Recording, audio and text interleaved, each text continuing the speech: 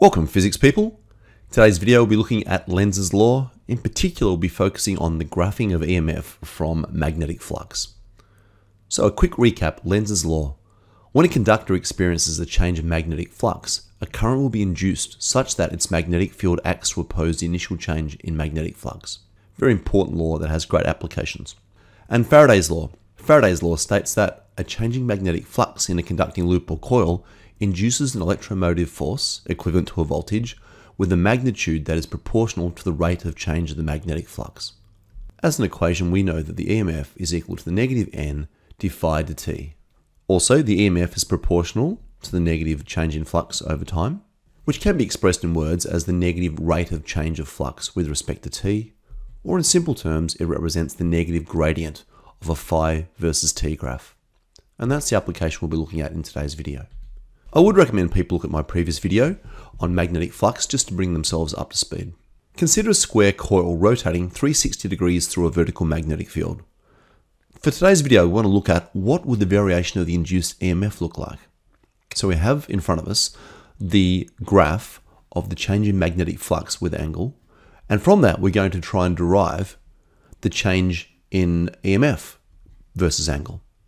So a reminder, the EMF is proportional to the negative rate of change of the magnetic flux. Let's try and apply that rule.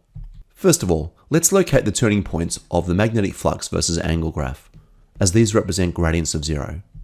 So here's our first extended gradient of zero, a turning point, our second one at 180 degrees, and our third one at 360. So here we have our turning points at 0 degrees, 180 degrees, and 360 degrees, where the gradient is zero. Now recall, when the gradient is zero, the EMF induced will be zero. So at zero degrees, we have an induced EMF of zero.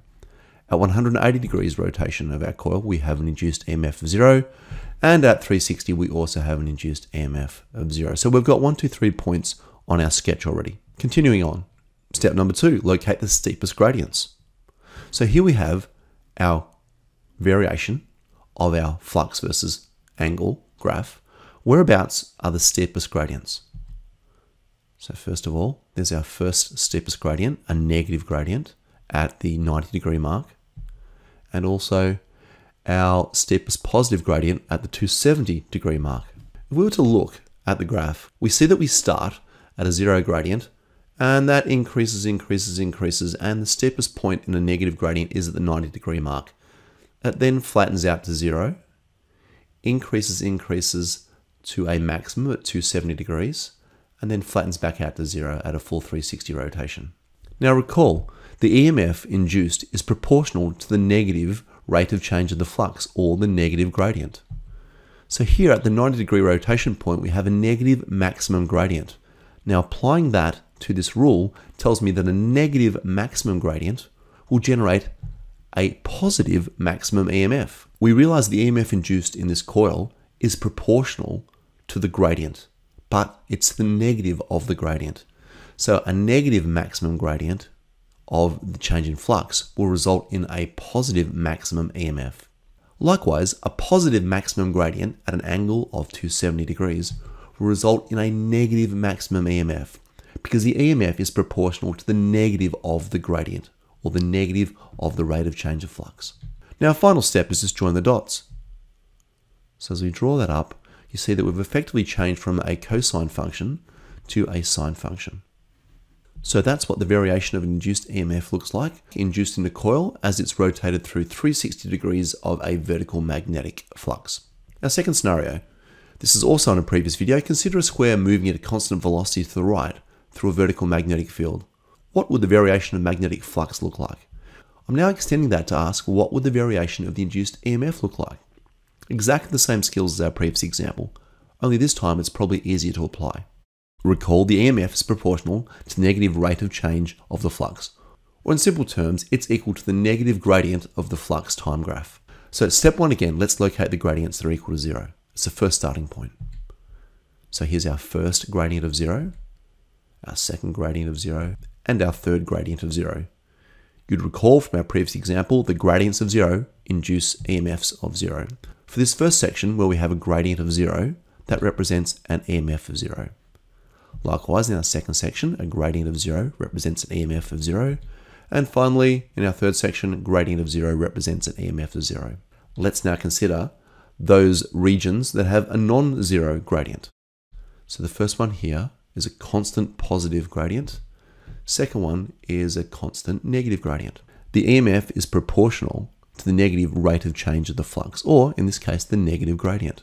So here we have, in this section, colored blue, a positive constant gradient. So that means I'm going to induce a constant EMF. However, a positive constant gradient will induce a negative constant EMF because this negative rate of change. Okay, this gradient is constant positive, but when I multiply it by the negative, I end up with a negative constant EMF. Likewise, in our second section, a negative constant gradient of the flux over time graph that generates a positive constant EMF. Again, I take a negative constant gradient and I multiply it by a negative and I get a positive constant EMF. And step three is simply joining the lines. We fill in our gaps. Okay, so here we have it. What would the variation of the induced EMF look like? It is as follows. Now, your turn. Figure 1 below shows a graph of magnetic flux versus time. So here's our top graph, figure 1. Sketch the induced EMF on the set of axes provided in figure 2. I recommend you try this, pause the video and come back to check your answers.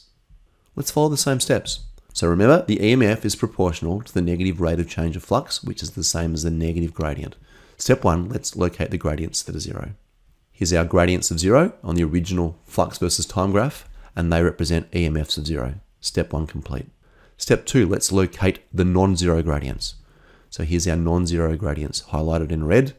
So we have a constant positive gradient that will induce a constant negative EMF because the EMF is proportional to the negative of the gradient. Also, you notice the change in flux in the remaining sections that I have read are occurring in a time frame only half that of this initial change in flux.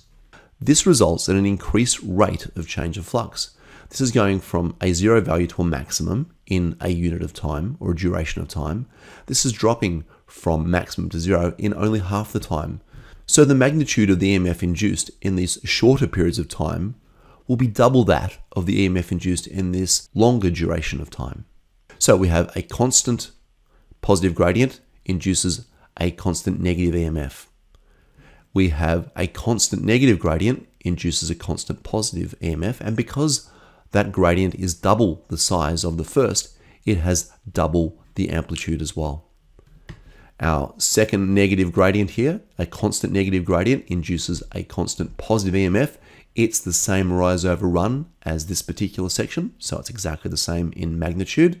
And finally, our increase in EMF is exactly the same magnitude opposite direction to the previous two. So it also has the same amplitude. However, because it's a positive gradient, we take the negative of that gradient to calculate our induced EMF. This has a negative amplitude. Finally, let's join our lines to complete this graph. And there you have it, we've sketched the induced EMF on a set of axes. Our final example, a single copper coil A is connected to a power supply. There we have copper coil A. A second copper coil B is placed directly on top of the first. Figure 1 below shows a graph of current in coil A versus time. And the task is to sketch the induced current in the second coil, IB, on the set of axes provided in figure 2. So at this point, I'll ask you to pause the video, Try this yourself and check your answers against mine shortly. Note that in coil A, the flux in A is proportional to the current. So when I have no current in A, I have no magnetic flux. When I increase the current in A, I'm increasing the magnetic flux. When I've got a maximum constant current in A, I've got a maximum constant magnetic flux and so forth. So this graph really is representing a magnetic flux graph. The values would be different, but the proportionalities will be exactly the same. Keeping that in mind, let's locate gradients of zero. So here we have gradients of zero in our first above graph. Now, we said before the EMF was proportional to the negative rate of change of the flux. Well, the current is also proportional to the negative rate of change of flux. So where we have zero change in current in the initial coil A, which also represents zero change in magnetic flux, we get zero current induced in coil B. Let's look at the non-zero regions. Here we have a constant increase in magnetic flux of coil A, which will induce a constant negative current. In our second section of non-zero gradient, we have a constant negative gradient, which in turn generates a constant positive current. In our third section, we have a constant negative gradient of change of flux over time, which induces a constant positive current. And finally, our last section, we have a constant positive gradient of flux over time, which induces a constant negative current in our coil B. Let's now look at the size or the amplitude of our induced currents.